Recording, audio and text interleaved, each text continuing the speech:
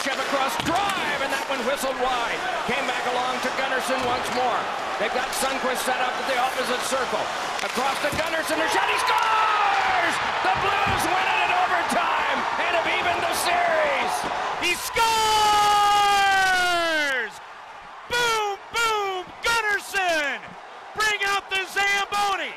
The Blues win game two! What an overtime for the St. Louis Blues. They dominated, and Carl Gunnarsson on a delayed penalty call has given St. Louis a 3-2 win and a 1-1 tie in the Stanley Cup final. And Jim, the Stanley Cup is about creating heroes, and how about Gunnarsson? Hasn't had a point in 21 games, none in this playoffs, and none bigger for number four than to even this series at one.